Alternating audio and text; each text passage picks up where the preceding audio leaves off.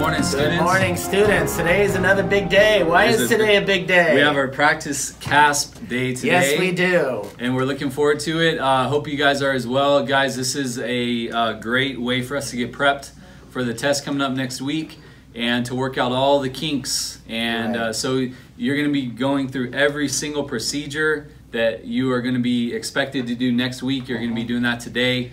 So you're going to be giving over your phones. You're going to be having a charged Chromebook, That's right. earbuds that actually plug in, no Bluetooth. It's not going to work.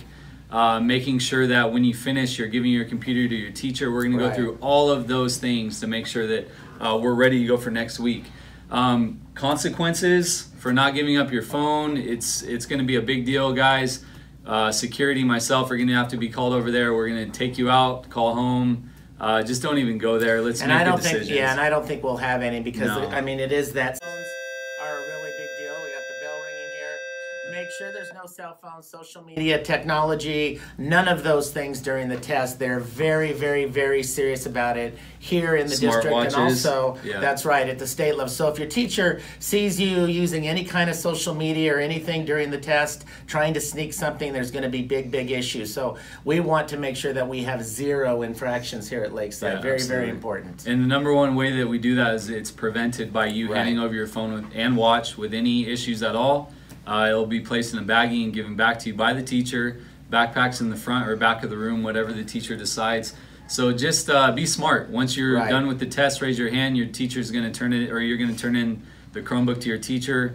Again, it's a practice, but we need to practice what we're gonna, expected to do next week, and so that's what today's for. Um, and what's the exciting? We have something afterwards at the end of the day. at the end of practice day. So what do we assuming everything goes well, we have Kona Ice Truck Woo. on campus. So make sure you bring your money three, four, and five dollars. Is that correct? Depending Four, on five, and six. Four, Four, five, five, and and six six. dollars. So bring that out, and uh, hopefully you guys get a nice slushy ice Kona thing full of yummy sugar uh, Yes, and ice. all that good stuff, and that'll only be based on us having an excellent practice it day. will. Everything went well. Everybody tried hard, and uh, we feel good that the students will be ready to go next week when we start the real test. So uh, I'm excited. Lots of stuff. Lots of exciting Yeah, stuff. good going luck, on. guys. Hope it goes well. Again, please uh, do your best today in preparation for, for next week. We hope you guys have a good testing day. Good luck.